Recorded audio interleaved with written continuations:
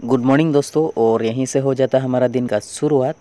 तो उठते ही सबसे पहले सब्ज़ी कटने लगा। आज बनाने वाला हूँ कद्दू और आलू। और ये चल रहा है हमारा कुकिंग उसके बाद, होने के बाद सबसे पहले करते हैं अपना रूटीन जो कि ब्रश उसके बाद पानी पीना, क्योंकि हमारा ये डेली रूटीन है। उसके बाद करते हैं पढ़ाई। और ये चल रहा है पूरा पढ़ाई करने के बाद थोड़ा लिखना।